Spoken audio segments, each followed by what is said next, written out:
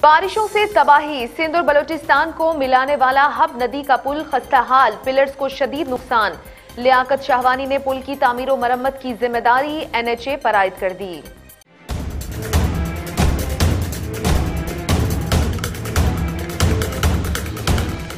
अंदरून सिंध और कराची में होने वाली हालिया तूफानी बारिशों के बाद हब नदी पर तामीर किया गया पुल खतरनाक सूरत हाल इख्तियार कर गया। पुल के पिलर्स की सपोर्ट की दीवारें गिर गई जिससे पुल के कमज़ोर होकर गिर जाने का खदशा है। हब नदी के तीन पिलर्स की सपोर्ट की दीवारें गिर गई है, जबकि दीगर की हालत मखदूश है।